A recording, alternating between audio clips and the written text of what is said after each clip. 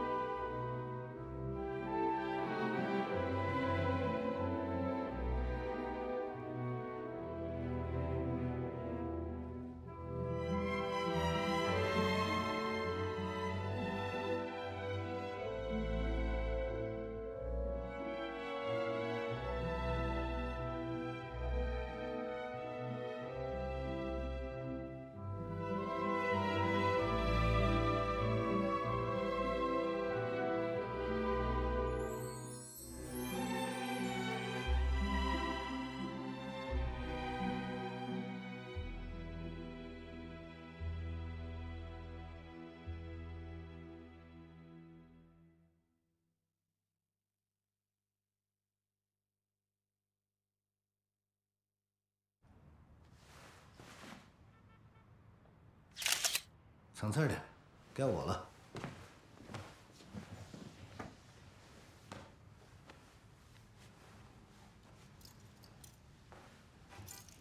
今天精神了吧，郝局长？我是你忠哥，这叫局长，不认这个兄弟。蹭蹭的，快点。哎，还是微笑一点好。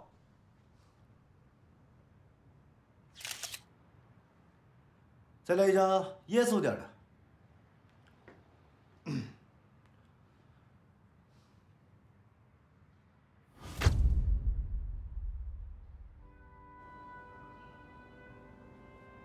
爸爸，当我跪在你的灵前，你一定还能听得到你心爱的儿子对你的呼唤。爸爸，我和妈妈至今都不愿意相信眼前的这一切。你的离去，让妈妈，让我，让所有的亲人、所有的朋友都是那样的无法接受。爸爸，你临走都没给我和妈妈留下一句叮嘱的话语。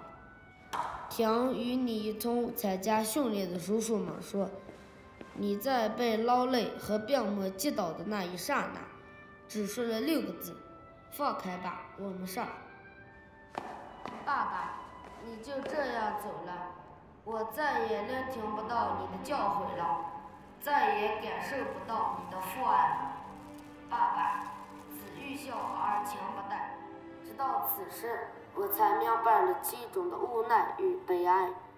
爸爸，你是我这一生成长的偶像，有你在，我仿佛有了指路的明灯。现在你走了，进来。领导，什么事儿？请坐。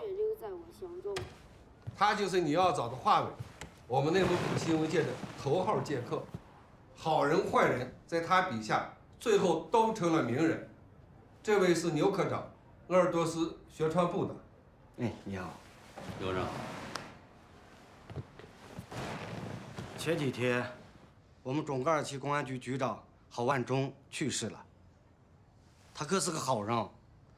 在我们老百姓当中，那威望很高。想请你这个大笔头，好好给我们写一写。郝局长，我听说过，又是个英雄人物。哎，鄂尔多斯是全世界都知道的地方，准格尔旗又是全国的产煤大县，这满眼都是钱的地方，公安局长能洁身自好？难，我就是前面写了，后面网民跟着人肉搜索，禁得住吗？哎，领导，你知道，我从零五年就决定封笔不再采写英雄人物了，只采写反面典型。刘科长，抱歉了。浩然，你别走。好新闻啊，可遇不可求。郝万忠如果能经受得住你检验，我相信，也一定会经受得住网民的人肉搜索。你好好考虑一下。我再想想吧。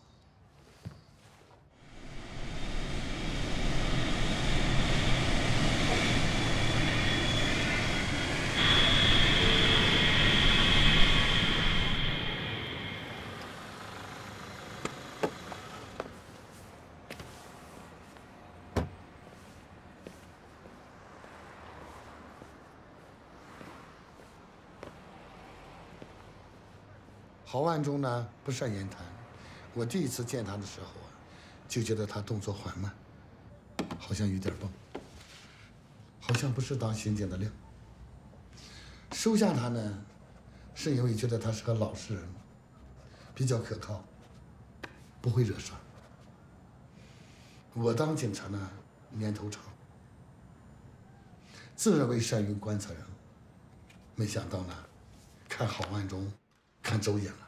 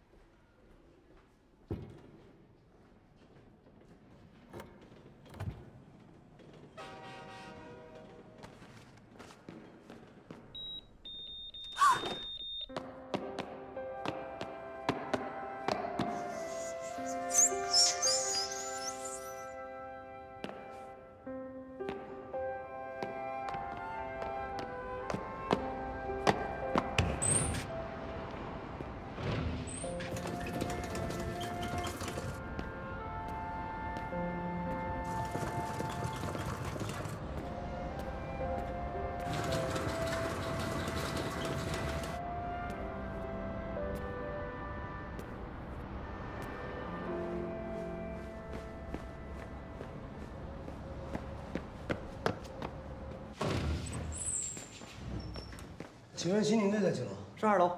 谢谢啊。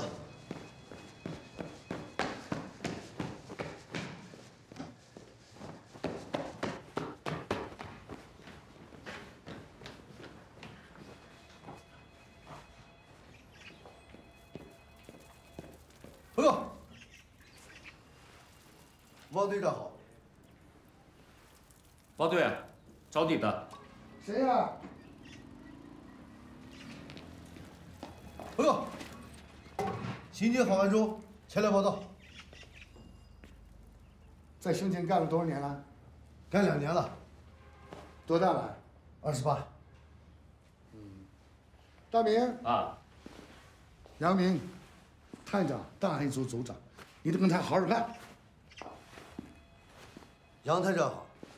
叫我大明好了，以前是主上的。周学老师。叫什么？化学。你一个学化学的咋想起干刑警了？福尔摩斯也是学化学的。小好结婚了吗？啊，结了。爱人干什么？小学老师。有孩子了吗？现在应该再有了。刑侦很辛苦，工作时间没保证，影响家人生活，压力远大于其他警种，而且危险性是常人所不能想象的。再给你两天时间，你好好想想。呃，我不用考虑了。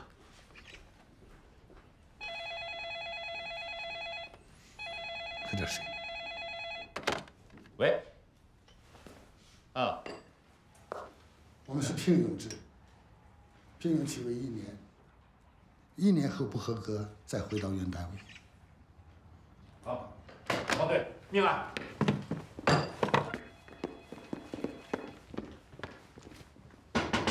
你站着干啥呢？快走了吧！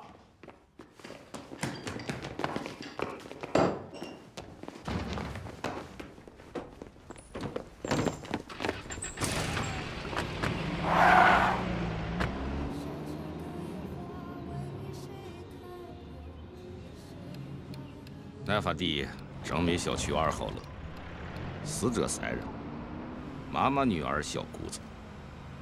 根据尸斑情况，初步估计死亡时间超过了二十四小时。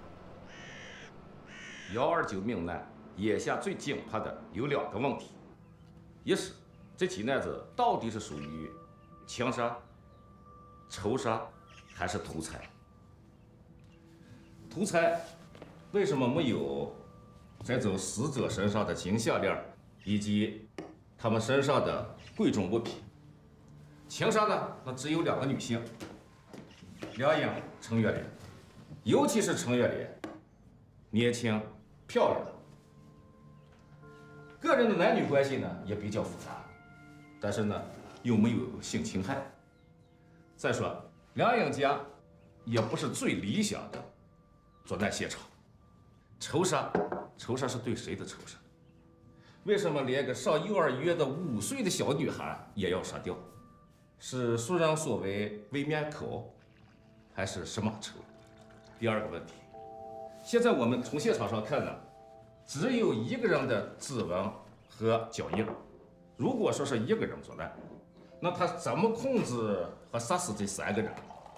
如果说两个人，或者是两个人以上？那么为什么现场又没有留下任何的作案痕迹？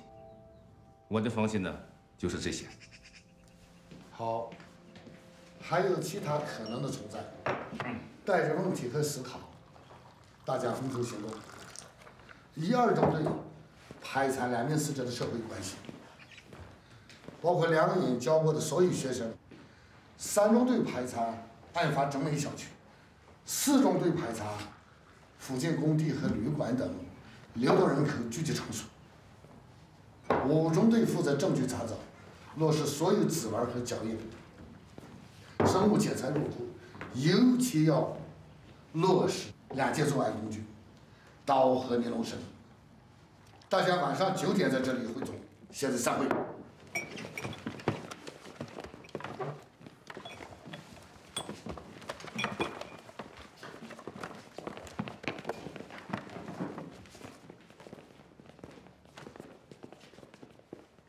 王队，我做证了。哦，等电话，等法医技侦部门的鉴定结果。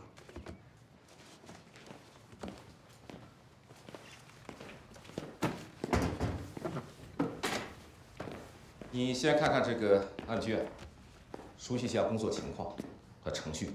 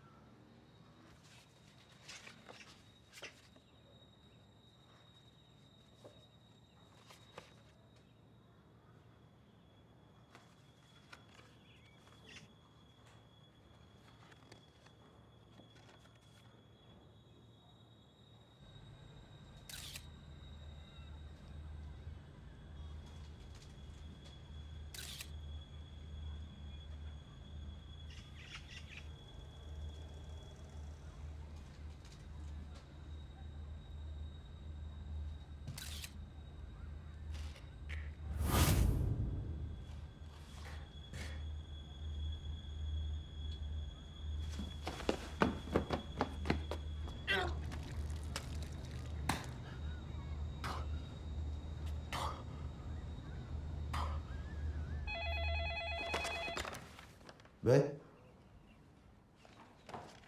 工作了，别打电话。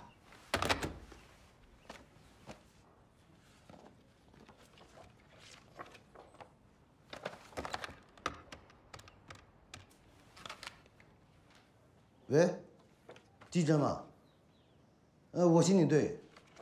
你刚才有没有打电话？哦，那有没有消息啊？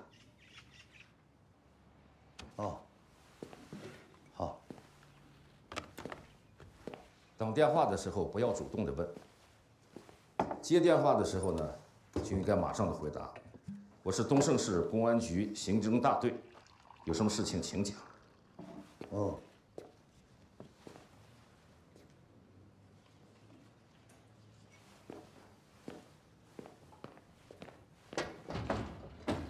谁是侯爱忠？我，你家上刚刚给你打电话，说你媳妇在医院给你生了个大胖儿子。生了。对。赶紧去看看吧，恭喜你啊！谢谢啊。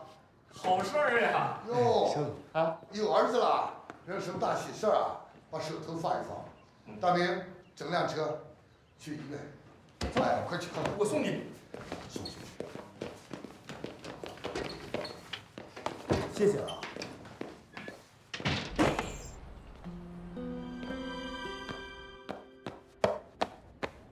二哥，爸，生了啊？生下了，你先进去看看。哦。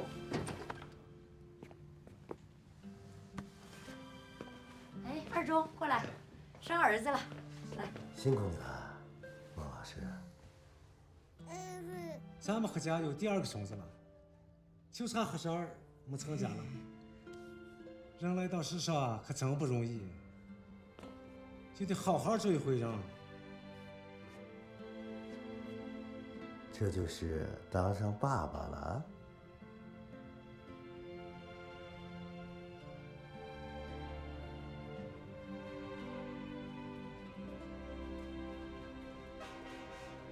我真想不起来，郝万忠有什么豪言壮语。他很勇猛，嫉恶如仇。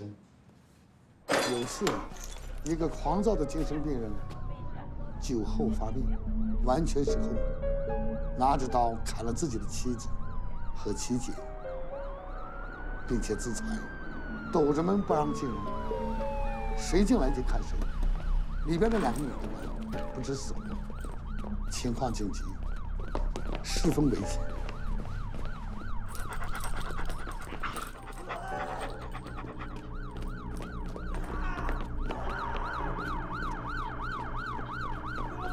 大明，带俩人上去。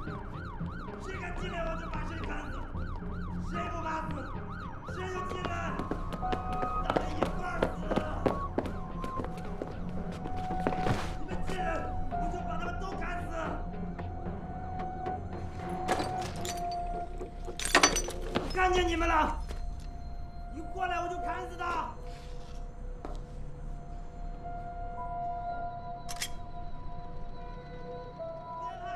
准备行动。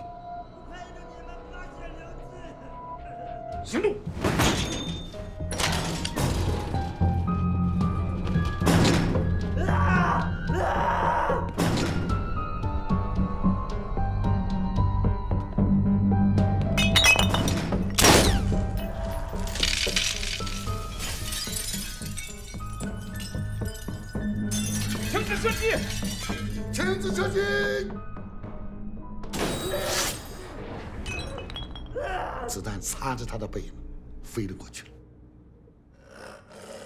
真险呐！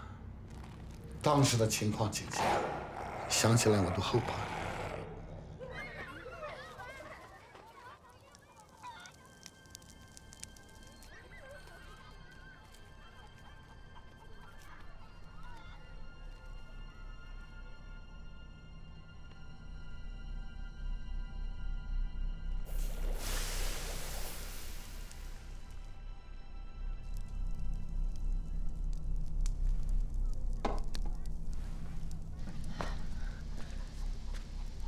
你怎么这么早回来？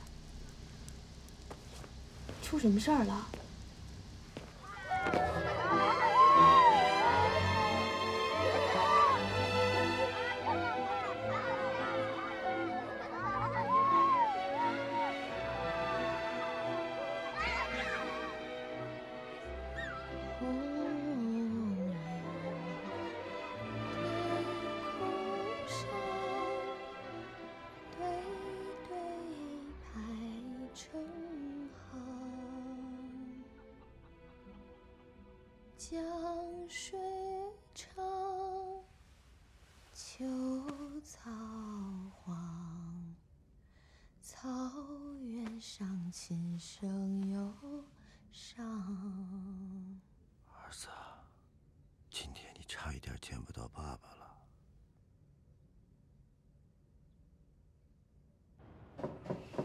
进来。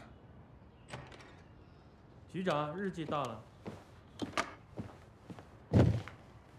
这里面是郝万忠到刑警大队以后，一直到去世前十四年的工作日记，一共六十八本，你可以看看。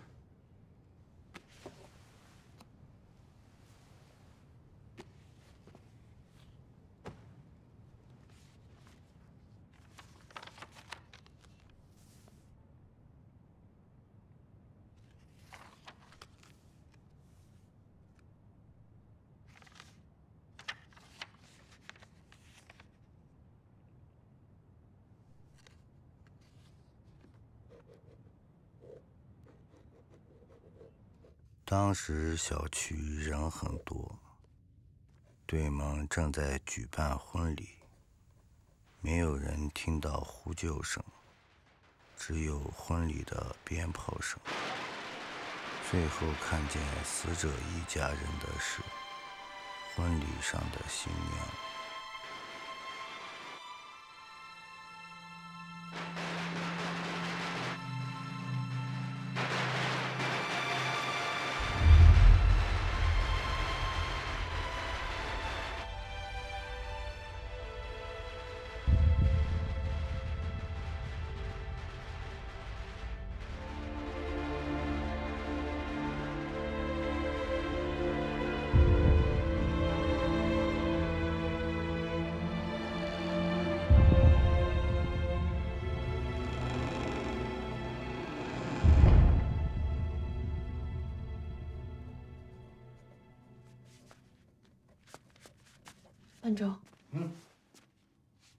睡觉吧。嗯，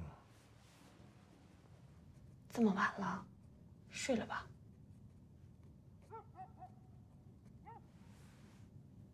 嗯，睡。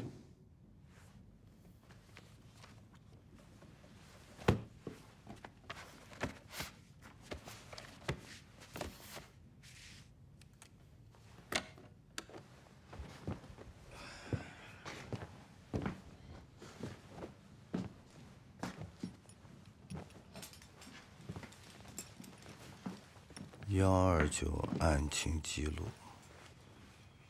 一九九七年十二月九日十三时至十六时，农历十一月初十，星期五，居住东胜市真美小区羊绒衫厂家属楼。居住东胜市真美小区羊绒衫厂家属楼十七号楼，二单元幺零四室。东胜市三中女教师梁颖被杀，梁颖五岁的女儿陈笑被杀，小姑子陈月莲被杀。一九九七年十二月十一日七时二十五分，东胜市公安局刑警队接到死者父亲报案电话，周六下午开始往女儿家打电话，一直没有人接，感觉事情不妙。周日上午自带钥匙打开房门，发现梁颖死于客厅沙发上。陈月莲死于餐厅地上，陈笑死于卫生间浴盆里，随即报案。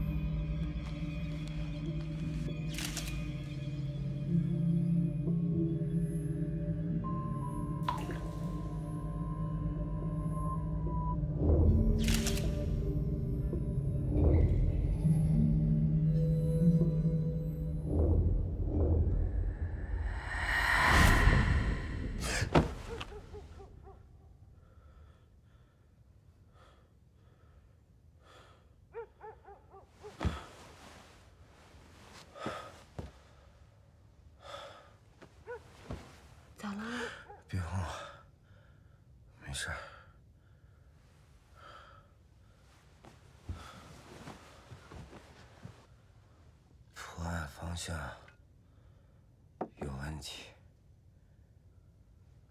万忠。啊。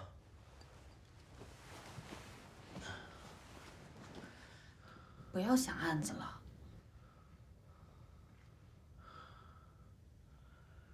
线索那么多，细节那么多，咋就破不了案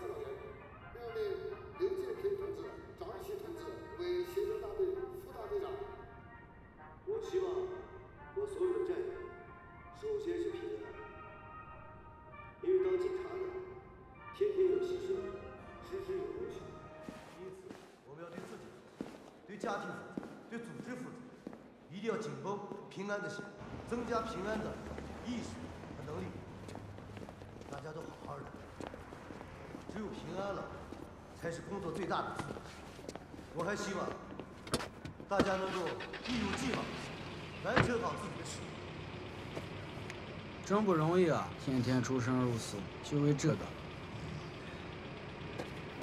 这奖章里也有你一半，你是我们警警队的腿啊！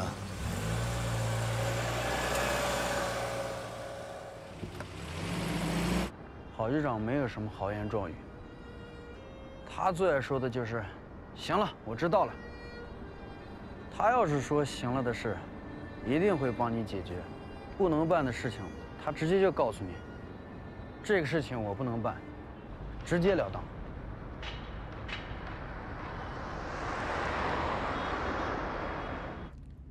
他们都是外地民工，在咱们一起干了十一个月，工程已经验收，却拿不到工资。他们要回家过年，跟对方讨要，对方又不接电话。今天早上从一期去了市里，现在走到哪儿了？快过大桥了，他们准备沿着高速公路市里。为什么要去市里？他们天马公司的总部在市里。欠下多少钱？四百人近九百多万，也就是一个人两万多。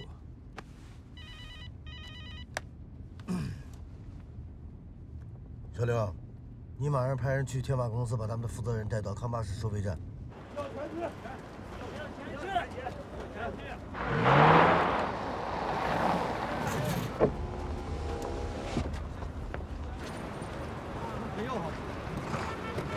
农民工朋友们，农民工兄弟们，等一下，等等等等等，等一下，等一下，等一下，等一下，等一下，啊！等一下，等一下，我是一级工程企业公安局局长郝万忠，有事事情，你们派个代表出来，跟我们一起坐下来商量商量吧，让政府来给你们解决问题，让你们满意。过了第二天、第三天打电话，他说他这天检了，我就找不到。我说我给他个人，他他妈的，我上市里头给他挖监矿。你们打过那个人给他挣了三四千块钱，给我。是监矿的，冬天打。可是我们怎么会打电话打通了，他是今天是两天是两天是后天。打通电话他只是只是不见面。就工工都退了，退了，现在电话也打不通了，现在没有做的。现现在像我以前多。不管怎么说。你也不能上高速公路啊！你上了高速公路，把路堵上了。第一，对你们不安全；第二，你们就是违法行为，你们违反了社会治安管理条例。你们要违反了，我还要抓你们。问题解决不了吗？相信政府啊！我们在来的路上已经打电话通知了市政府有关部门。和天马公司负责人，他们马上就赶过来了。到了，就把问题解决了，好不好嘛？好，好。老马来了，老马来了。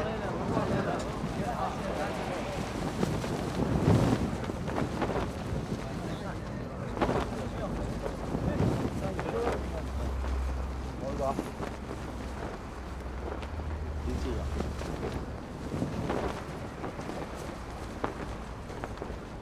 工兄弟们，你们不要这么个了吧？我们端你们钱，我们该给你们呀嘛，对不对？我们也人家也端我们得了吧？我们这两天正好回要的了。工程已经完了，我们要我们的工钱了。我们的工程你已经验收合格了，为什么现在不给我们工钱了？我们要回家过年了。啊，是了，是了，是了，我也不知道。我们要钱，我们要工钱。过年，过年前了，我们不打电话不接，打电话不接该是有时候开会不上了把手机关了，不是我故意不接话的。我和你们工长也说了嘛，就这一两天就给你们呀嘛。我们要是资金出现点问题，马上就会回笼回来的。你说你把现在把政府关系直接降到回来以后，对不对？谢谢你，每次都给了，每次不给钱，你，各位谢谢你。以前你为什么不给大家说一声？啊？你以为你躲了就完事了？工程盖完了，该结工资了，你多了，你的信誉呢？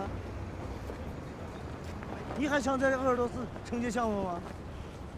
你想想，这些农民工外地来的，千里迢迢跑到我们这儿来打工来，你体谅一下，他们背井离乡，外出打工，结不了薪水，回不了家，过不了年的心情，换了是你的兄弟姐妹，你怎么样？你怎么想？对对对，他们我可以理解他们心情，但好找我过两天就马上给他们谈呀。你你你不要跟我说过两天的事情。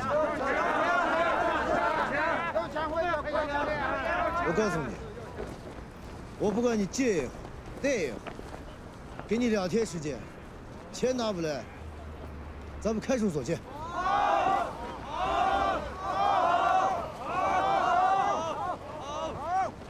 谢谢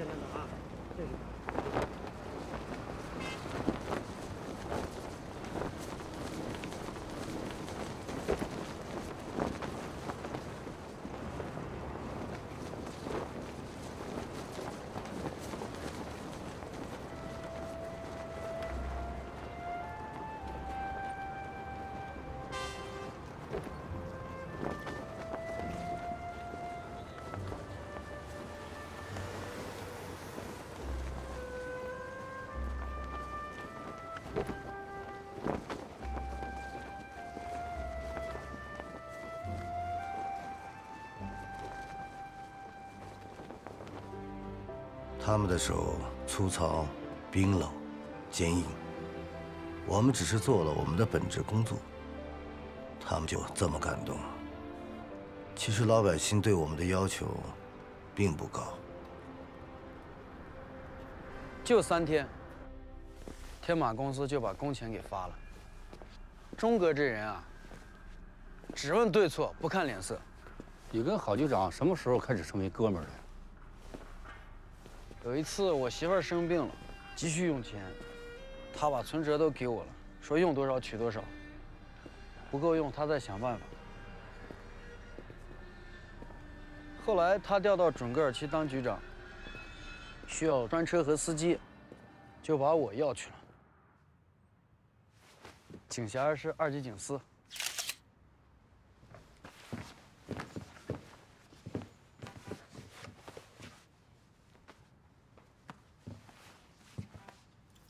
郝局长，今天精神了。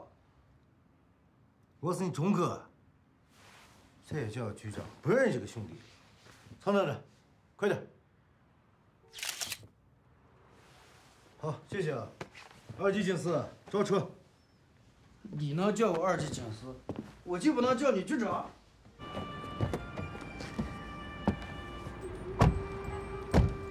还是叫忠哥。强子，啊？你知道我为什么把你调到我身边吗？为啥？我看中你一点，不贪。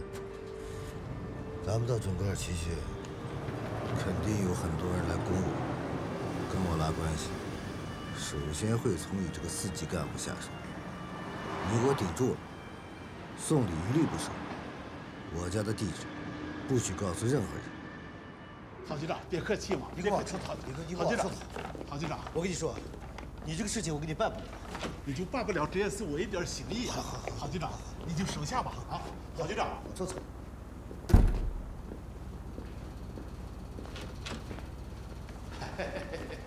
郝局长，你这做事了，你看，你们警察这么辛苦，这么忙，拿这些东西好好补一补身体。哎呦，你是给我一个人补，还是给我们全局所有官兵补？好好好，郝局长，你说说何方去？好，郝局 长，坐坐，曹局长啊！哎呀呀，郝局长，好好好，郝局长，手下。行行行行行行，郝局长，郝局长，下午还有会呢，走。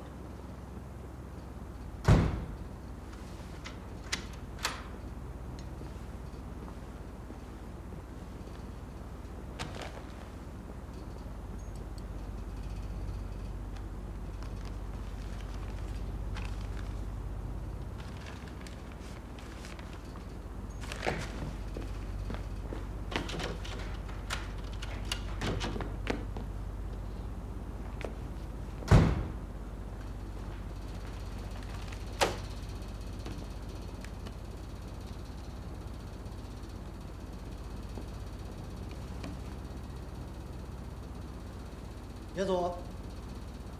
哎，你走到哪里了？你给我蹭蹭的回来，把这钱给我拿走。你要是不拿走，我就交到廉政基金里去。我给，你以为有点钱，盛世都能办到吗？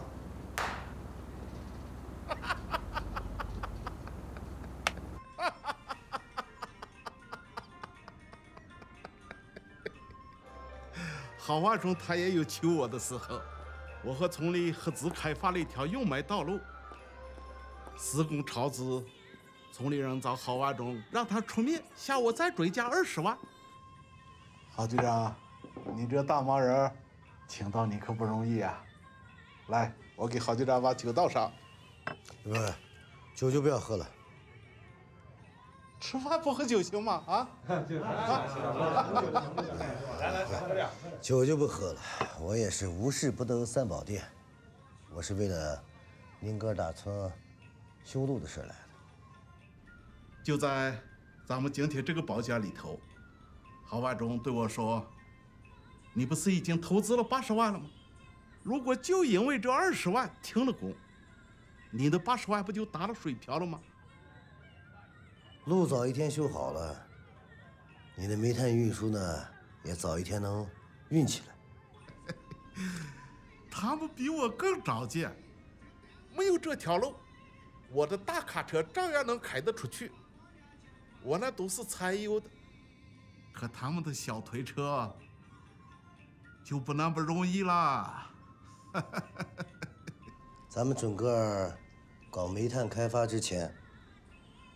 咱们跟他们是一样的，穷的是叮当响嘛。现在日子过富裕了，想吃海鲜吃海鲜了，想喝好酒喝好酒了，咋就不能从牙缝里头挤一点出来，帮助帮助咱们这些穷苦的农民弟兄呢？路修好，我用，他们也在用。我用它发展生产，他们也在搞活经济呀。雪中送炭一下嘛。虽然这二十万，对我来说，那是小子偷偷一动的事情。让一个村的人都念你的好。可是我做生意是有约子的，合同之内的价格我一分不少。合同之外的，对不起，老子就没这个义务。本来呢，我是坚决不同意由我来单方面出这二十万。可是今天，既然你郝局长亲自出面了，我不能驳回你的面子，给脸不要脸啊！是是。郝局长，我可是多少次没把你请到呀？今天你能和我一块喝烧酒，这是我的荣幸。这样吧，你喝一百，我给村里两万。一百两万，十百二十万。多久？我这一辈子还真没服过谁，可是碰上郝万忠这种人，他是金刚钻，你不得不服。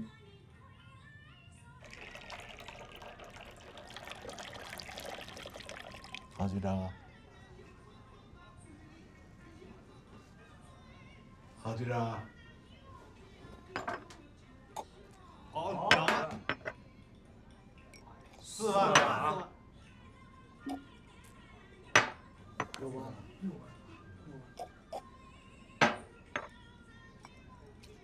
郝局长，别喝了，别喝了，再喝你就是骂我了。你知道我是在骂你呢？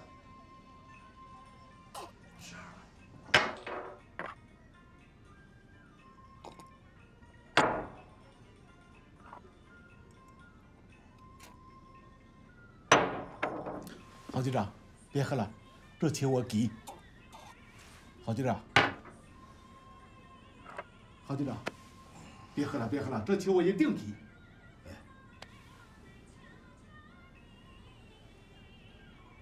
我就是让你知道，陈格尔旗有条路是我郝万忠喝酒喝出来的。郝局长，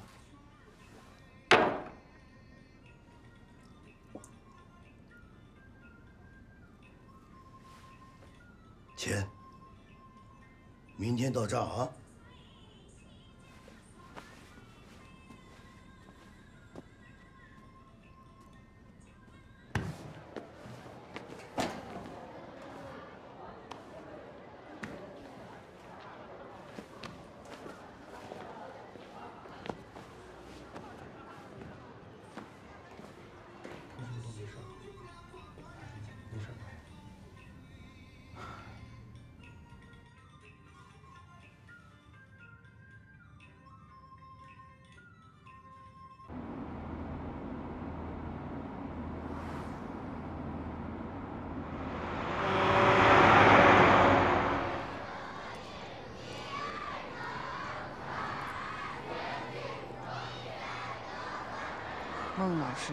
不愿意接受记者的采访，她不愿意相信她丈夫已经去世了。他们夫妻感情是很深的，所以她承受不了这个事实。我知道了。走了哈。嗯。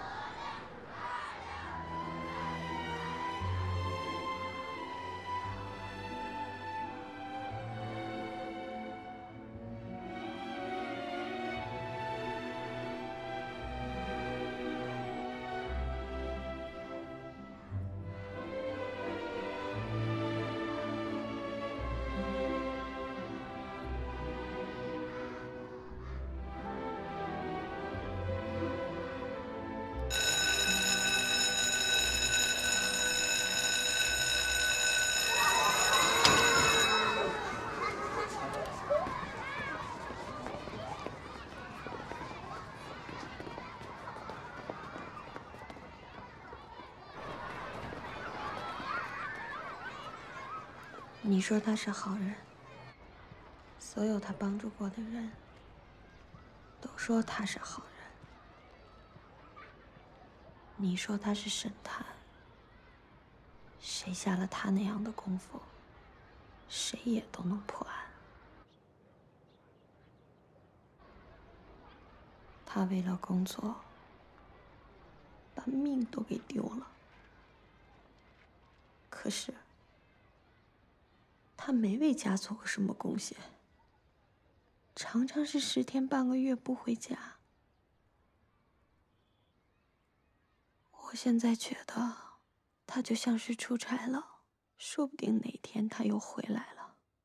我还梦见他回来了，然后又走了，进了一间白色的大房子里，让我在外面等他。我等着，等着，我就醒了。我等了他一辈子了。我在梦里都还在等他。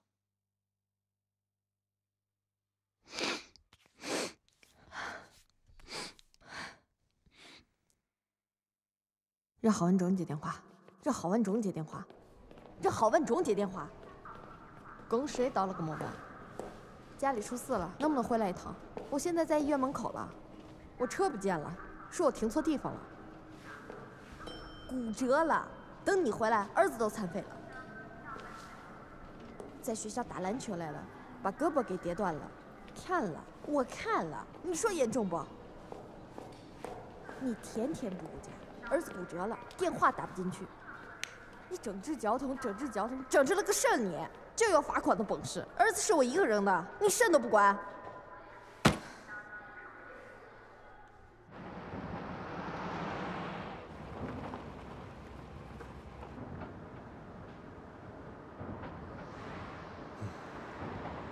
你以为你是他哥，他是公安局长，遇到啥事儿都能通融一下，根本不可能。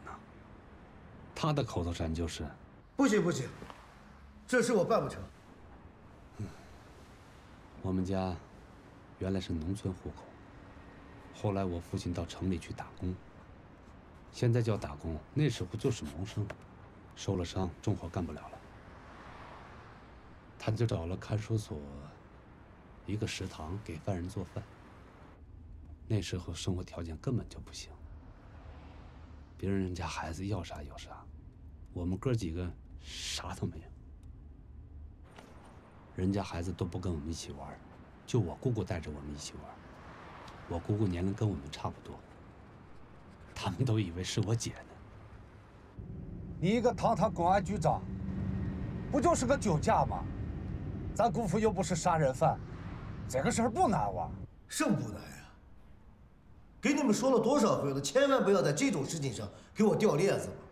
你要是不方便出面，就把交警大队长的电话给我，我自己去找他。哎，你打电话跟我打电话，那不一样啊。谁都知道酒驾是违法犯罪行为，况且他是个出租车司机，那是要人命的呀。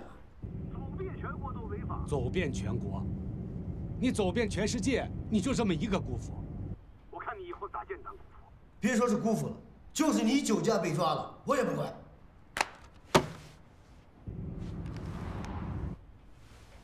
二零零八年，二中到准格尔旗当局长，来了之后呢，给准格尔旗所有的企业发了一封公开信，不允许公安部门到各个企业去拉赞助。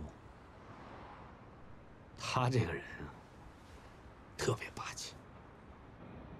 不过他有事儿就来找我商量，说是商量，就是命令。他是那种走路不紧不慢的。上楼梯也是认识的点点头，二哥，不认识的人连理都不理。不管你开会还是干什么，推门就进，有时候也敲门，顶多敲一次，往沙发上一坐，掏出一根烟，自己就在那抽，看着你。还有的时候，他直接就问：“你们那个事儿要是不重要，我跟你说点事儿。”你们两个没什么重要事的话，外面等一下。他就是这么一个人。来吧。嗯，公安局呢有两个烈属，家里过得很穷，儿子走了以后就剩下两个老人了，住的危房，想捐款给他们盖个房。你汶川地震的时候你不是给赞助了吗？玉树地震的时候你也给赞助了，你现在两个烈属这你也给赞助赞助。这对企业也是个宣传。你不是不让到企业搞赞助吗？你跟我说这个做甚了？你是我哥吗？你是什么企业了？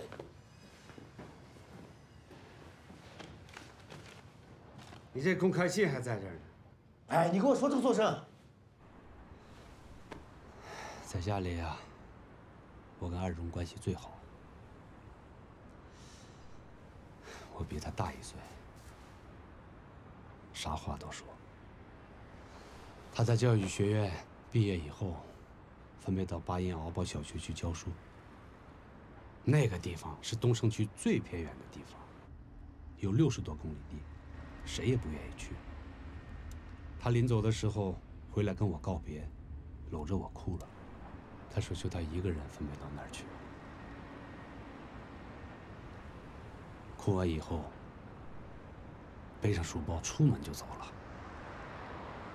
他说一定要在那个学校干出点成绩来。他就是在那里认识他妻子孟文娟的。要多少？差不多十万。行，那就这。我什么时候给你啊？到时候再说吧。啊？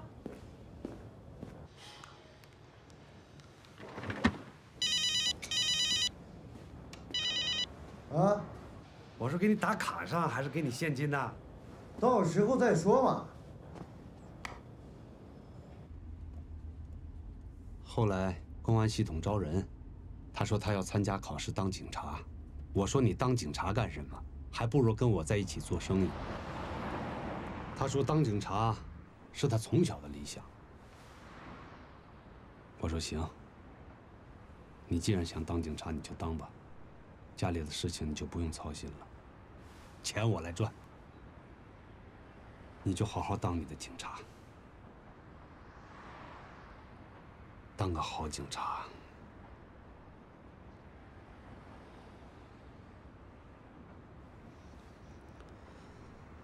当个好警察。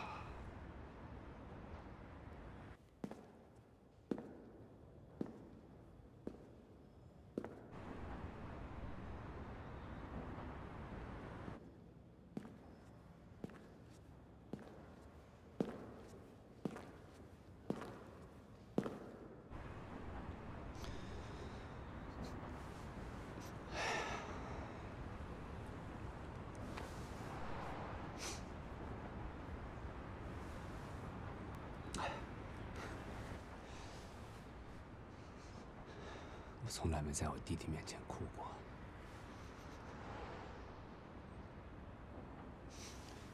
他才四十一岁，我现在就想，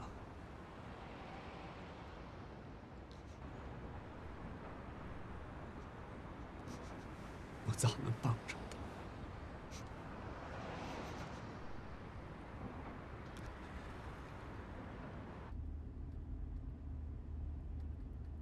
他去世以后，我们姐弟几个去了他的办公室，打开他办公室的那个保险柜，里面只有他爱人给他写的一封信。信的大概意思是：你工作事业都很重要，你干事业我不是不支持你。我知道你从小就是这样，看不得别人受苦。别人要是有困难，你心里头受不了。我也不是不理解你，可是你总得给我们娘俩留点时间呐。圆圆现在要中考了，你得抽出时间来陪陪她，鼓励鼓励她，也回来陪陪我呀。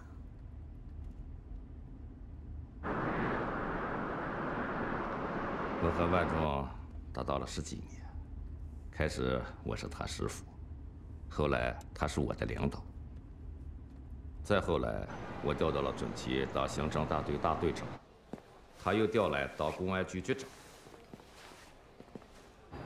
万忠这个人呀，特别爱动脑子，也下功夫，从一个门外汉到自信，干得很出色。退休前，我们俩最后一次合作是鞋店杀人案，死者是鞋店女店员，时间是上午十点。当时，隔壁音响店正放着高音喇叭，没有人听到鞋店的动静。受害人被捅了十四刀，没有一刀直接致命。流血过多死亡。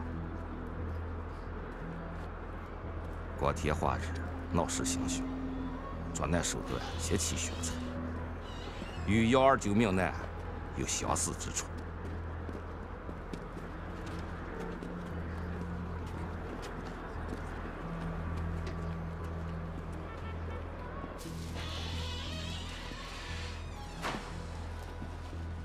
脚印是直接走进商店。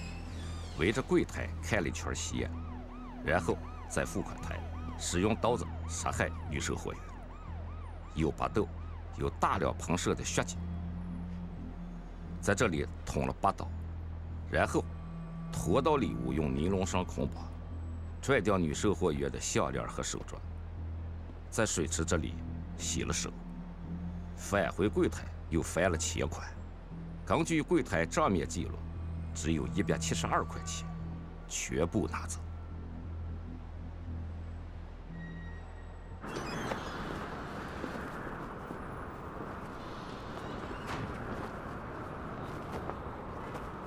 要不就个摄像头吧，把资料调取了。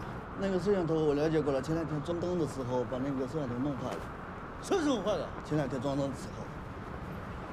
坏了为什么不报告？他们也不知道弄坏。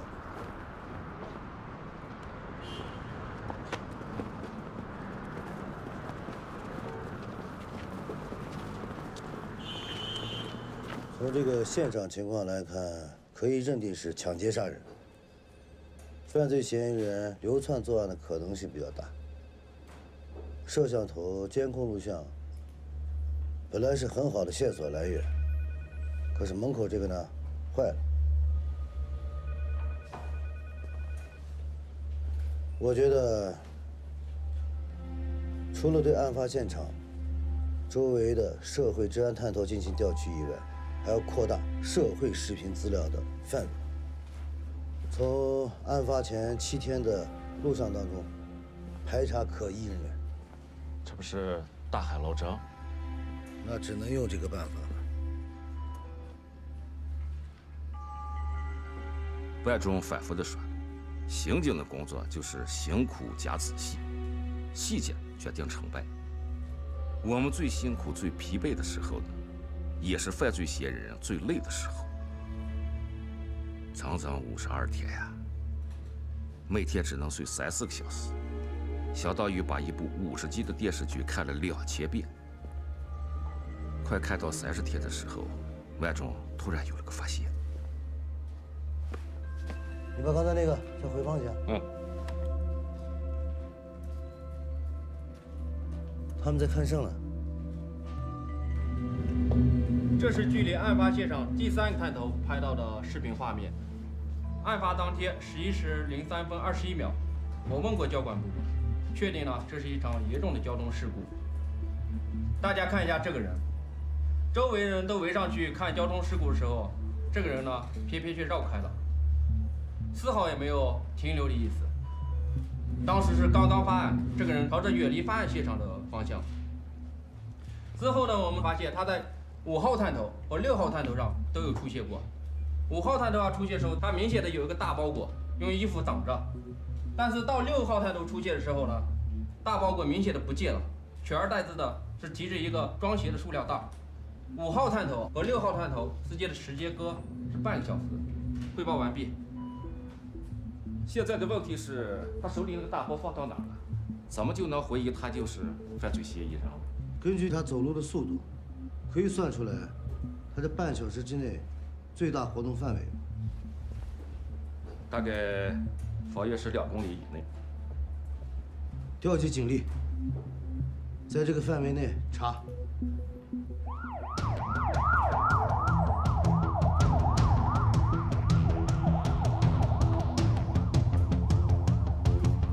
万忠办案思路特别清晰，只要能够找到这个人丢弃的物品，就能够确定他是不是犯罪嫌疑人。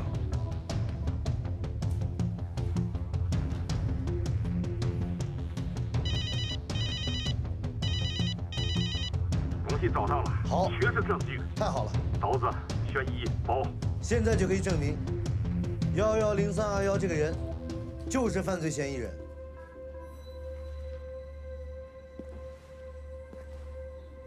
目前的问题是，这个影像太模糊了。我们掌握的细节呢，就是这个横条毛衣。从毛衣入手，第一，调查这个毛衣是哪里生产的；第二，调查周边流动人口，看有谁穿过这个毛衣；第三，掌握毛衣花纹，全队熟悉；第四，调查所有网吧的录像和登记材料。查出这个人的姓名和身份。郝万忠从毛衣的花纹入手，查到了二十个穿着同样花纹毛衣的嫌疑人，再把所有的资料发北京电脑专家鉴定影像的像像度。最后一张鉴定像像度超过了百分之六十。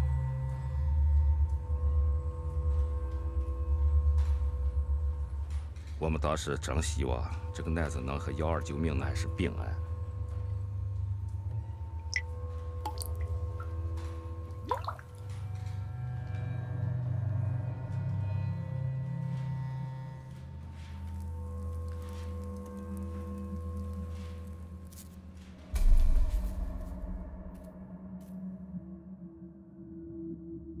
最后确定了犯罪嫌疑人是次荣年，然后立即派人去查找次荣年的下落。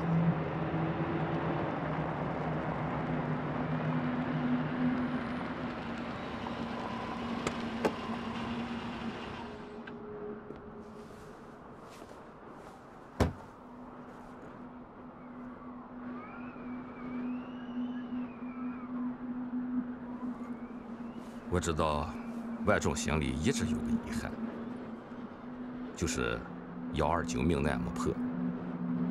在以后的十几年中，我们凡是抓到一个嫌犯，就给他做 DNA，看有没有并案的可能。我们是多么希望那个案子能破呀！万忠去世前一个星期来看我，又提起幺二九命案。每个警察心里都有一个放不下的血案，就是到死他也放不下。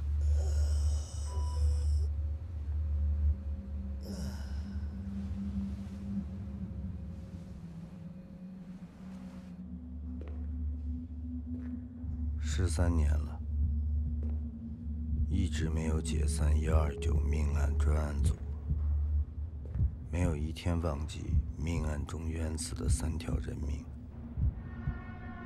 案子不破，是我们刑警的耻辱。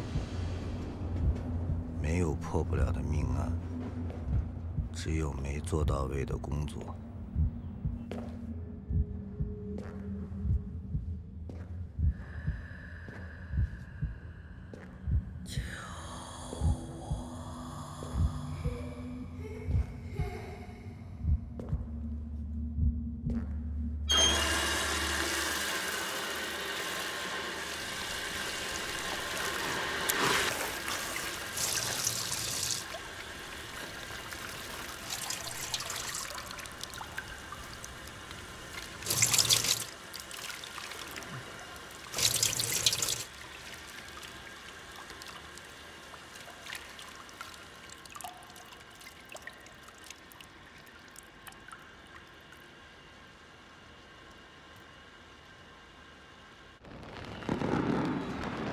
你看我儿子给我发的短信多好，外面鞭炮声声，家里冷冷清清。好好过年啊！行。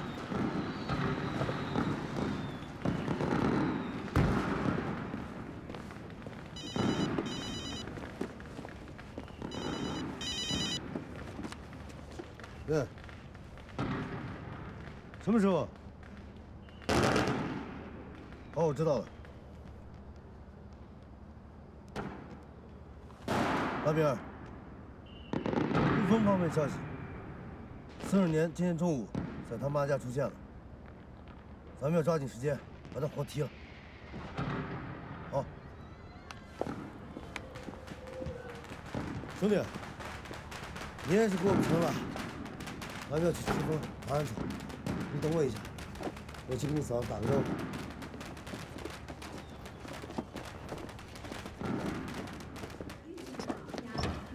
儿子，儿子，哎呀，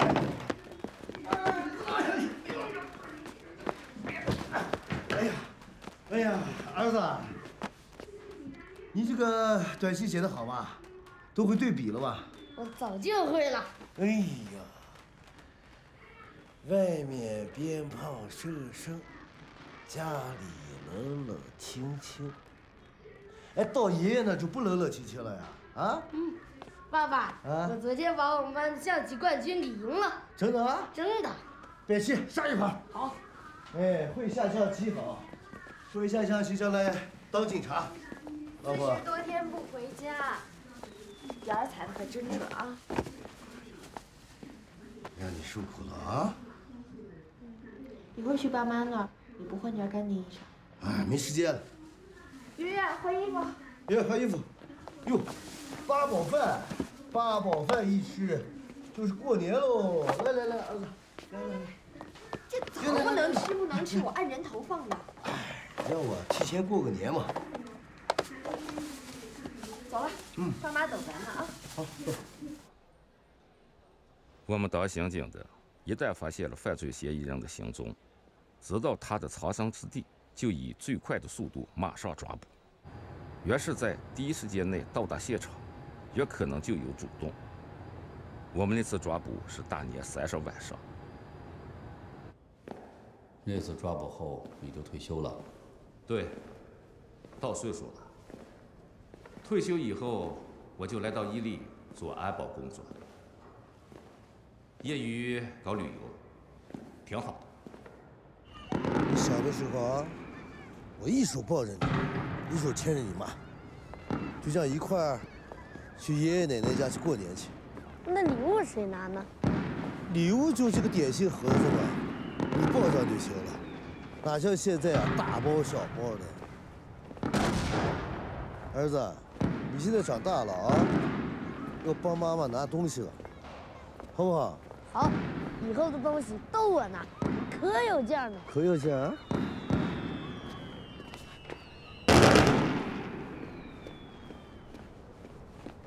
嫂子，圆圆，过年了，先拜个早年。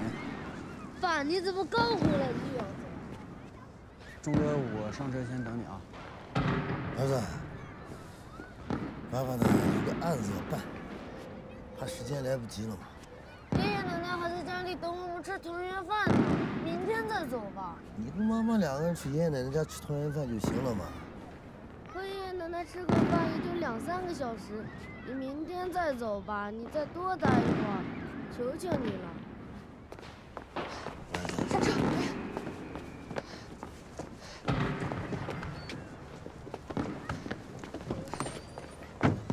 儿子啊，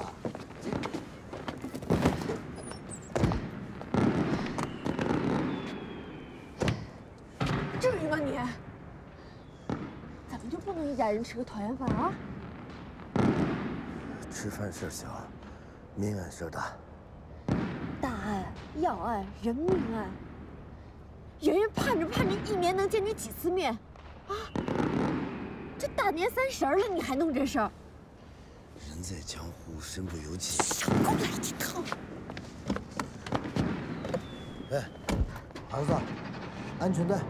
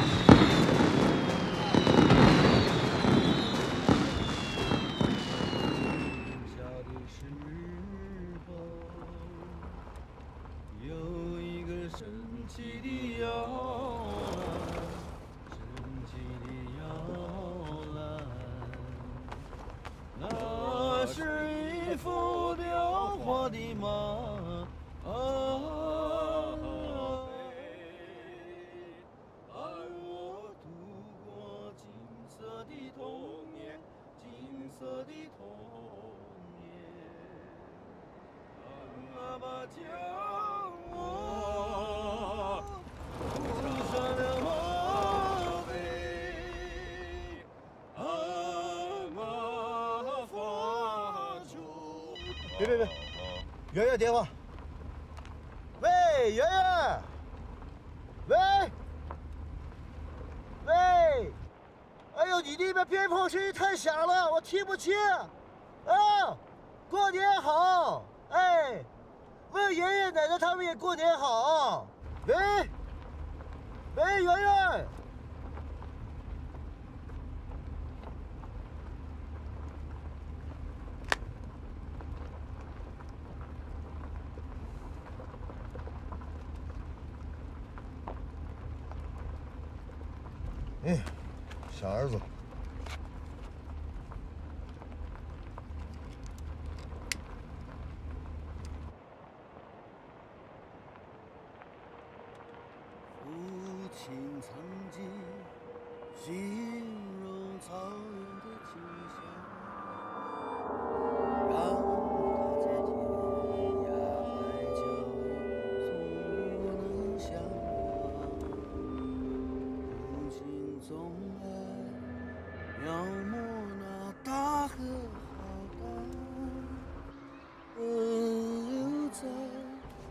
蒙古高原我呀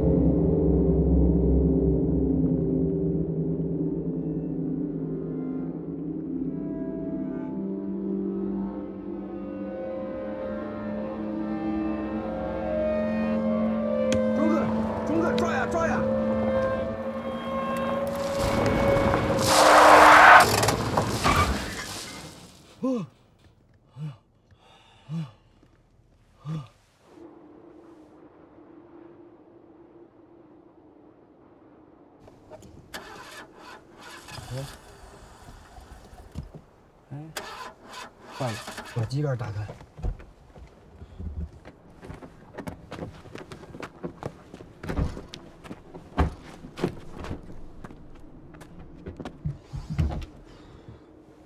水箱撞坏了，走不了了。你给修修。我修不了，修车那是修理厂的事儿。一个开车的不会修车吗？不就两改锥的事情吗？车上有改锥，给你一把，你试试。你给我拿车去！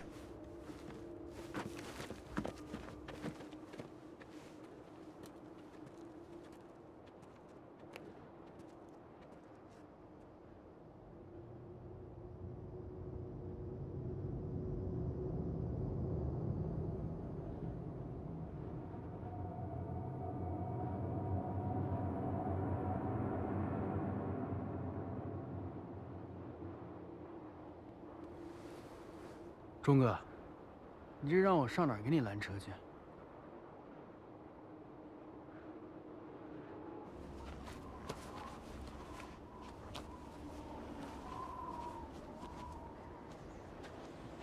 那一路上，大家都心照不宣，每个人都憋着一股劲，一定要活着次如你，把十三年前的命案一起搞个水落石出。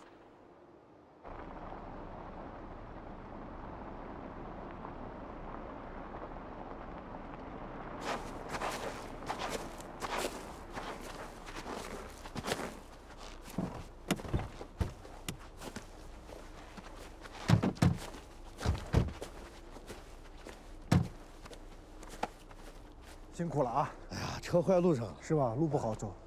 呃，前面这个圈就叫李家窑圈，我们的人已经布控好了，现在我们就可以进去了。那行，我们进。咱们现在走，好。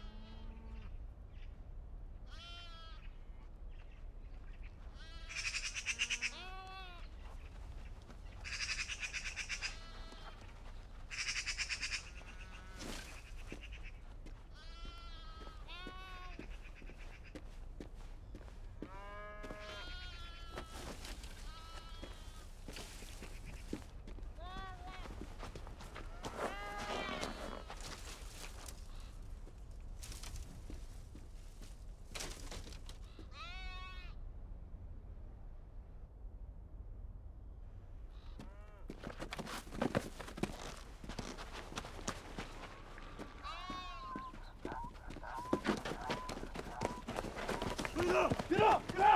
站住！站住！站住！别动！站！站住！站住！下炮！站住！老实点！高东，把头抬起来！架上了！伺候你，看着！你别开枪，我什么都说。我说啊，你到我哪来呀？哎，不要！哎，来来来，公安局的，公安局的，公安局不能。公安局的。调查一下，调查一下，我们带你儿回去调查一下，调查一下。好，回去，配合一下我们工作，你配合一下我们工作啊，我会告诉你的。这我们会告诉你的。好，行，路上慢点啊。嗯嗯，好好。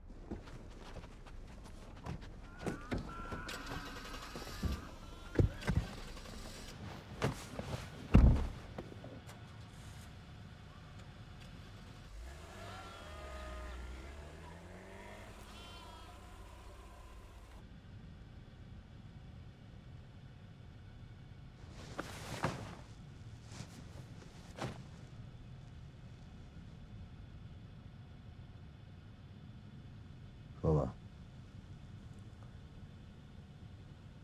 换秋波的要二百块钱，一百块钱交电话费，一百块钱回家给老娘。他死活不给。我说给一百块钱也行。电话就说我手机欠费，我替我担心。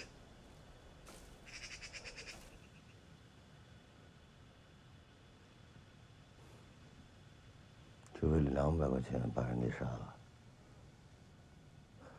夸嫂挣那点钱，都在网吧还赌吧了。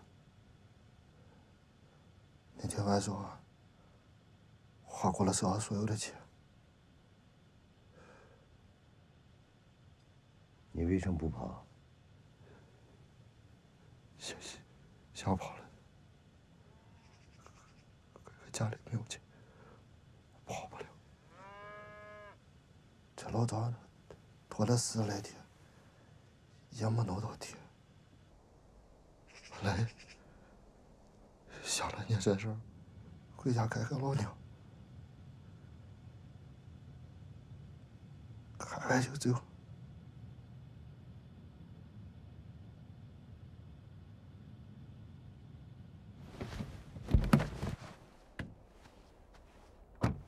爷。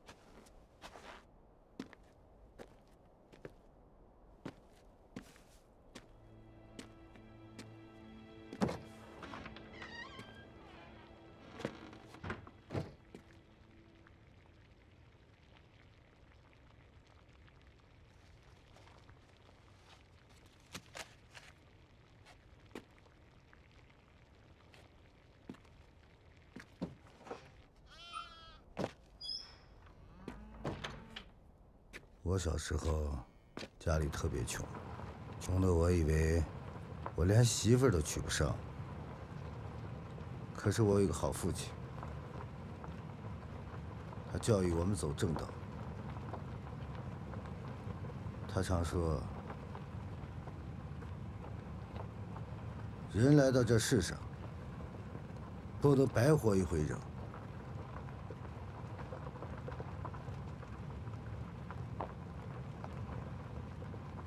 郝局长在的时候啊，都说这个局长脾气大，那不好伺候。他天天抓考核，抓纪律，抓警风，夜间检查巡逻岗的情况。为了防止干警看到他的车子提前做准备，他就自己骑着自行车去。大半夜的骑个自行车，鬼鬼祟祟的，躲着藏着，偷看岗亭里的干警在干什么。他最爱说。没有法律就没有公正。他还说什么叫公安？警察公平，百姓平安。只有你执法公平了，百姓才能平安。郝局长提拔我呀，可能也是因为我是杠头，不怕得罪人。后来你为什么自学法律，考个律师资格证？我们公安系统啊，很多人退休以后啊，由于技术比较单一，只能到一些企事业单位里去做安保工作。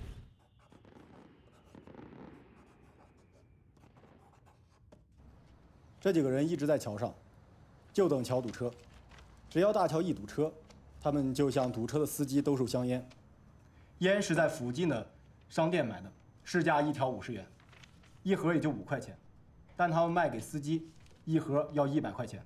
如果司机不买，他们就用棍棒、砖头打砸司机的车辆，明显是用威胁的方式强迫司机买烟。这七个人都是十七八岁的小伙子，没有前科。目前已经拘押了八天了，准备按强买强卖定性处理，就不用提请检察院批捕了。整个案子的大体情况就是这些。法治，说说。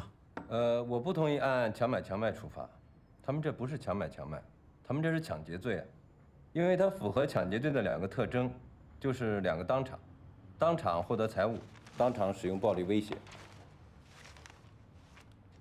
都是一帮小孩刚刚从学校毕业，大多数还没满十八周岁，毕竟同时还没有伤人嘛。他们是没有伤人，但是他们拿着木棒把受害人的车灯、车玻璃全砸碎了，这是什么行为？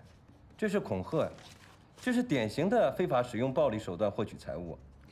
这个案子我看是模棱两可，怎么说都行。这个看我们是治病救人呢，还是上升到法律层面上去惩治呢？小李，继续。强买强卖与抢劫罪啊有天壤之别，所以他们的处罚也有天壤之别。强买强卖顶多是行政处罚，最多关押十五天，可抢劫罪呢，他判刑的起点就是三年，最高可以判到七八年。这个问题我咨询了法院的朋友，他们觉得这个案子没有什么特别的，也没有造成十分严重的后果，因此就不用提请了。我也认为不用提请，还有几个是领导亲属。我个人认为这个案子定为强买强卖的比较好，毕竟就是一百块钱买了一盒烟的小事儿嘛，不是个大问题。哎，我不这么看，我认为很严重，这不是单单的一百块钱买一盒烟的问题。我打个比方，我抢了受害人一万块钱，我还给他一百块钱，那我这就不叫抢劫罪了吗？我们不能因为他给了受害人一盒烟，那他们的行为就不是使用暴力非法获取财物。我坚持认为应该定性为抢劫罪。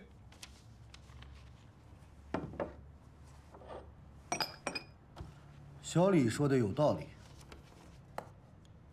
提请检察院批捕。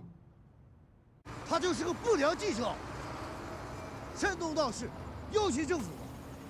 我跟你说啊，像他这样的人，你给抓起来。郝局长，我同情你的感受，但是如果因为这事儿抓记者不符合法律程序啊，他是不良记者，他通过写文章要挟政府相关部门非法获利，但是咱们受要挟的政府部门可以到记者协会去投诉举报的，或者是呢，咱们到法院起诉打官司，走法律途径解决。你说这是正事吗？法律途径，什么法律途径？郝局啊，如果记者这个事儿解决不好，那咱们就相当于在大海里杀鲨鱼啊。那把鲨鱼给杀了，那血就会把所有大大小小的鱼都给你招来呀。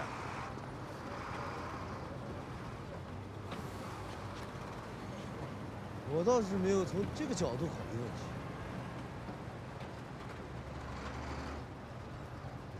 李东方，哎，你在公安系统也工作了十六七年了吧？咋我跟领导们提起你，谁都不知道呢？啊？你说你是咋混的？哼！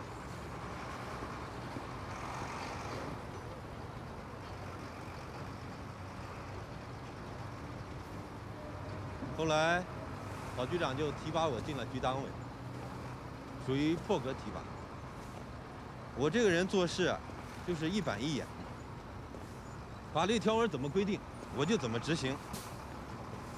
所以有时候就行不通，行不通怎么办呢？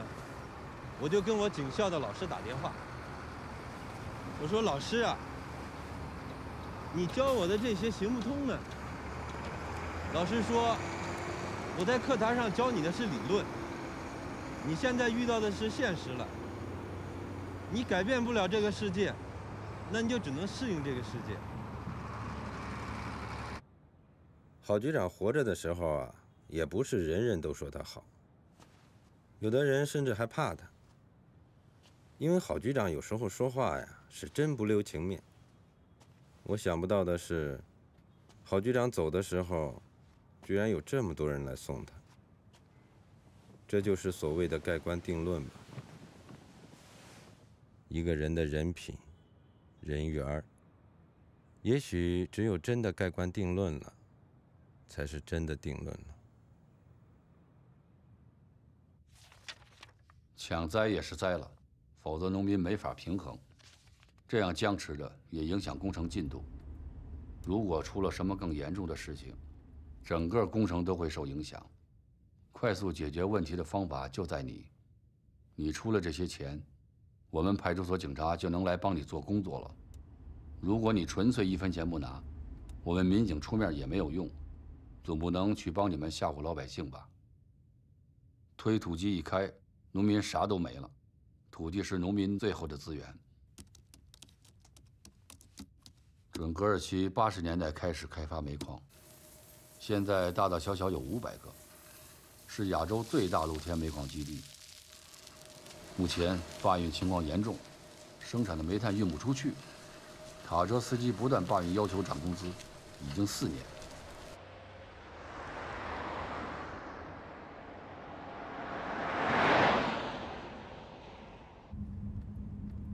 嗯，前面这是咋了？过去看看。哎呦，那是西营子集装站经常闹罢运的地方，我调几台警力，等他们来了，咱们一块儿过去吧。不用。咱们俩先过去看看。好。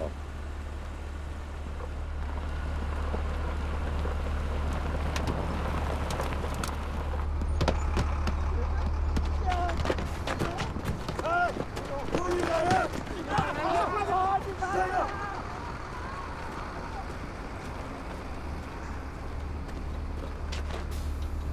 怎么样？上去了。不是，不是，为什么打你？老子就飞。为什么？这是房子，这房子太坏了。嗯，不让我们司机出车，又砸玻璃又烧。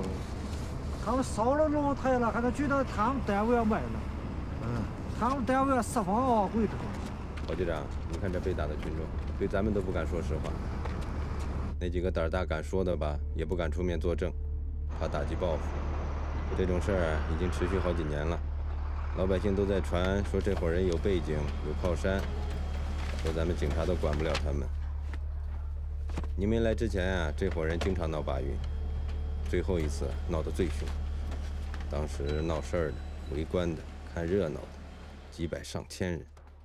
当时我们也出警了，没控制住局面，警车都被他们砸了。我代表中旗党委交给你这位新上任的公安局长一个重任：解决中旗多年来遗留的煤炭运输问题。我们中格尔旗有一百多家煤矿，如果这个问题解决不好，影响会很大，闹事儿的人越积越多，最后有可能演变成群体性事件。这样不仅仅是一家煤矿的事儿，一旦爆发，就会成为社会管理的大问题。我早就想过这个问题，那罢运是什么概念？那罢运就是我自己有车，我不想出车。但是这个团伙他不是，他是不光自己不出车，别人想出车他也不让别人出车，谁出车他就打人砸车。现在弄得本地司机都不敢正常出车，这已经不是群体性事件了，这是黑恶势力在作恶。我们前一段也调查取证了他们很多资料，只是一直以来。咱们内部处理这个事情的时候，一直有阻力。前两次他们闹事儿，工资给他们涨了，妥协，所以呀，他们现在才这么嚣张。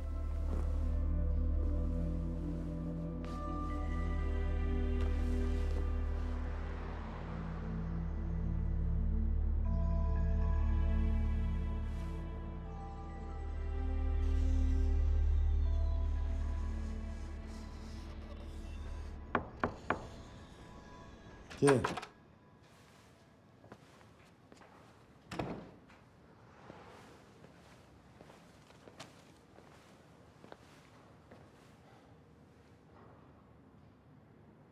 郝局长，咱们关于西营子集装站罢运的报告拿回来了，上面没有批。他们说，还是按劳资纠纷处理，希望咱们不要介入。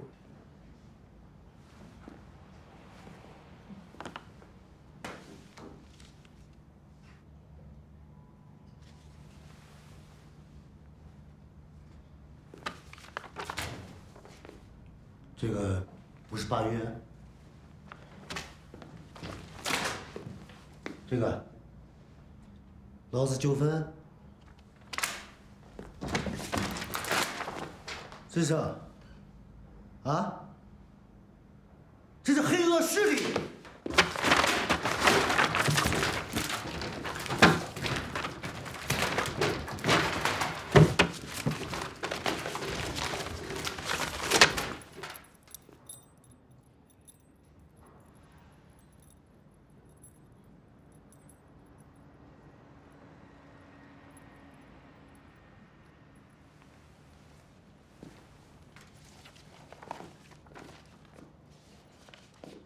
行行行。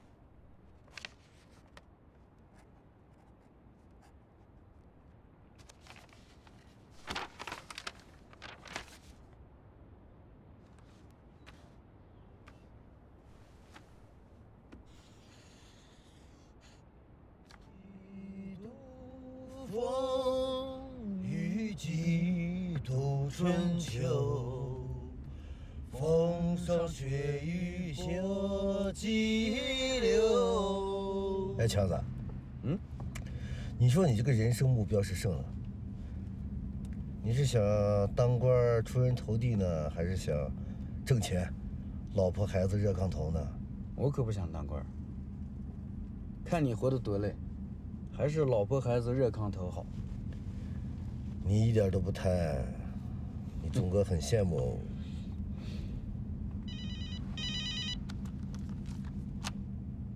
嗯。哎，郝局长，西营子集装站那帮人又开始闹事了。什时候？刚才半小时前开始。当地派出所已经去人了，但是控制不住局面。现在路全堵死了，闹事的人也上来了。哦，我知道了。强子，掉头，去西营子集装站。王书记，有个情况向你汇报一下：西营子集装站那伙人又开始闹事了。本来秦皇岛的煤炭就已经告急了，又赶上南方冰灾，现在上面给我们区政府下令，每天必须用煤三万吨。区政府下决心要解决煤炭运输问题。这次你们核实完事实情况以后，一定要把这个问题解决好。根据我们的调查结果，大多数司机还是希望恢复运输，只有一小撮人在那挑动闹事。煤炭运输公司罢运事件不是简单的劳资纠纷，应该重新定性为黑恶势力。好，我要的就是你这句话。高书记，你放心，这件事情办不好，我就卷铺盖卷走人。杨副局长。西营子集装站又开始闹事了，区党委要我们立即采取行动，让小刀把闹事的主犯十二人照片印发通知，通知准其现有五十警力，携带单警装备，立即出发赶往西营子集装站。一小时以后，我们在那里汇合。另外，通知准格尔旗其他全部警力，立即进入备勤状态，以防出现警力不足。好，知道了。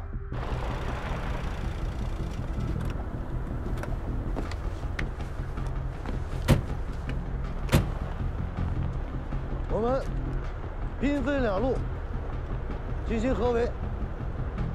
首先疏导围观群众，撤离现场。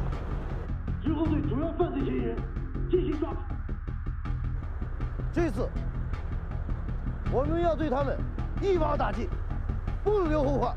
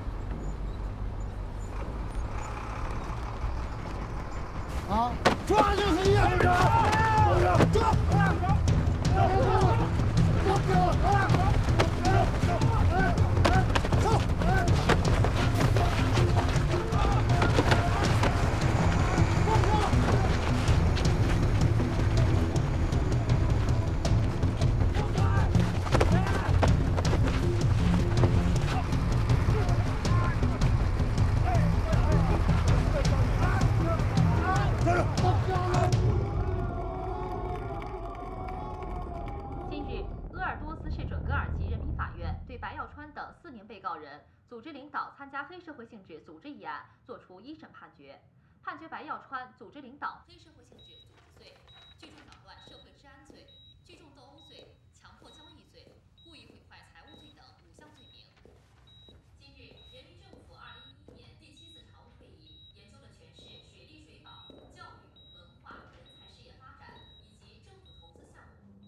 东西就在我桌子上，让小高拿给你。好平时敢去憋气吗？憋，憋得难受。晚上睡觉时候呢？嗯，要带上呼吸机了。多长时间了？快一年了。也不是天天戴，戴上呢舒服一点。你现在湿性早搏比较高，STT 也有改变，又有胸痛、胸闷的症状。这是很危险的，建议你立即住院检查。听说郝万忠去世前，你给他做过检查？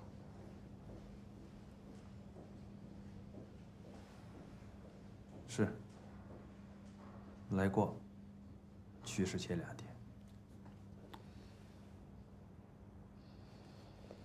你给他做过那么多检查，知道他心脏情况不好，为什么不坚持让他住院？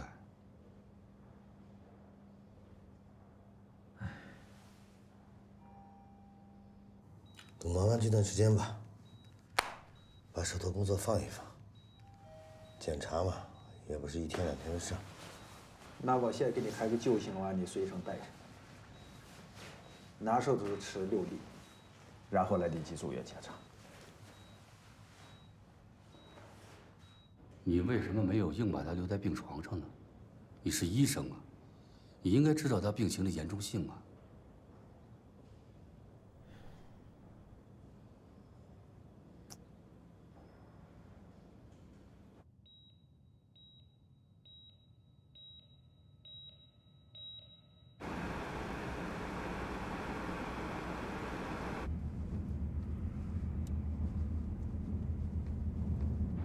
钱子，你这是往哪开呢？春哥，今天晚上回家睡吧。明天一早有体能测试，回市局。市局今早上打电话联系了，没房间。那我给王局打电话。王局长我打过了，说一直没空房。钟哥，多长时间没好好睡觉了？都快一个月了吧？嫂子在家等你呢，你不想她？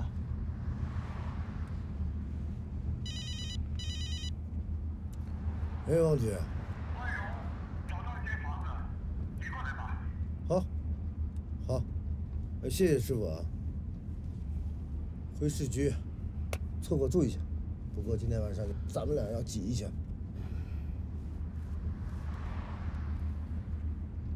庄哥，我觉得你这个人生活幸福指数不高。岂止是不高，光忙自己的事儿了，把老婆孩子都给牺牲了。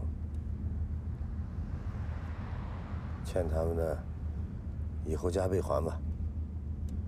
我觉得你说那些都是空头支票，谁信啊？你过两天去给我买一个帐篷去，要三个人的。我答应儿子了，中考以后带他去野营，看天鹅。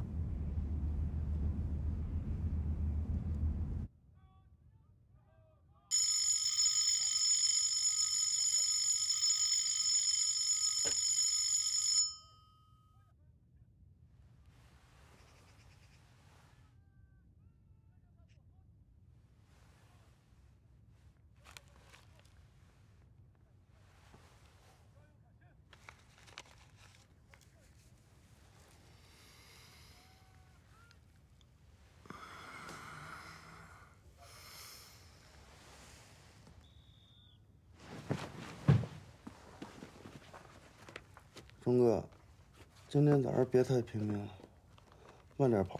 嗯，你最近也累了，昨天晚上都听到你打呼噜了，你再多睡会儿啊。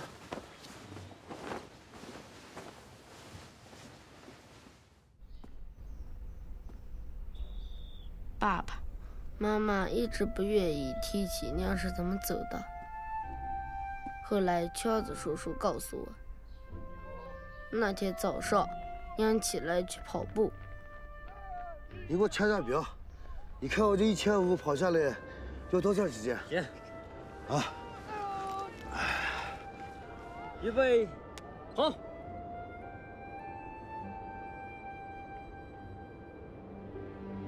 我记得娘老说，早起跑步要战胜自己的懒惰。一个人只要能战胜自己，就能够战胜一切。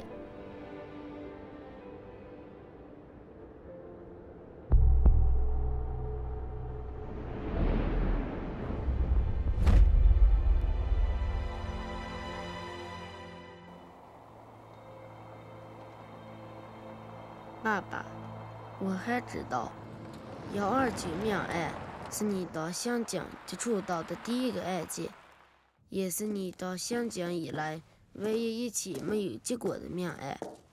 娘一直觉得很对不起那些冤死的人。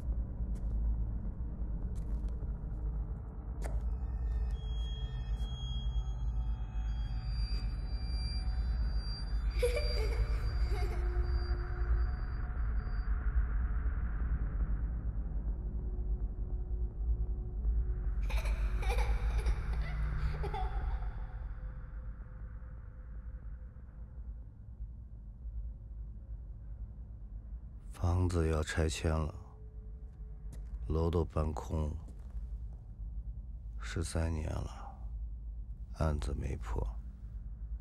那些死去的冤魂，现在连暂时歇息的地方都没有了。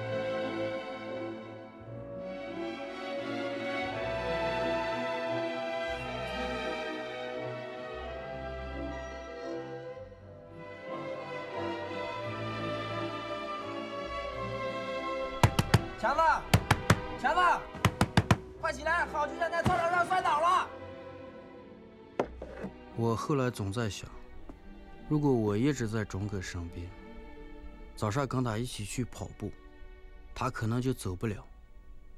那天早上，怎么他让我睡我就睡了呢？凭什么我和钟哥两个人去了中旗，却只有我一个人回来？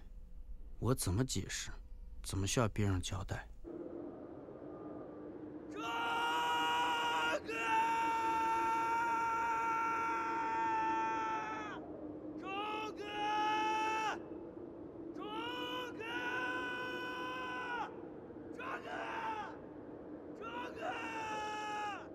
对父母，我不是一个天天尽孝的称职儿子；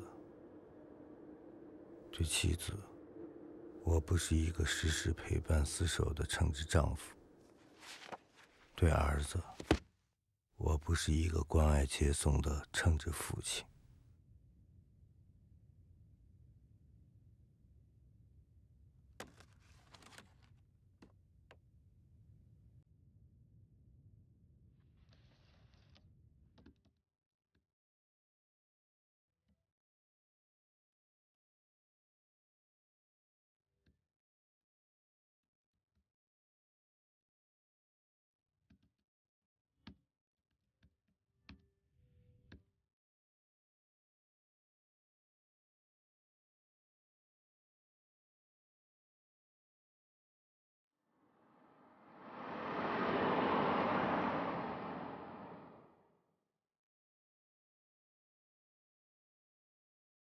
爸爸，你记得吗？两百年春天，你带我来这里看过天鹅，后来我一直能盼着再跟你来。你答应过我，答应过我很多事情。那年是春天，有许多天鹅，可现在季节已经过去。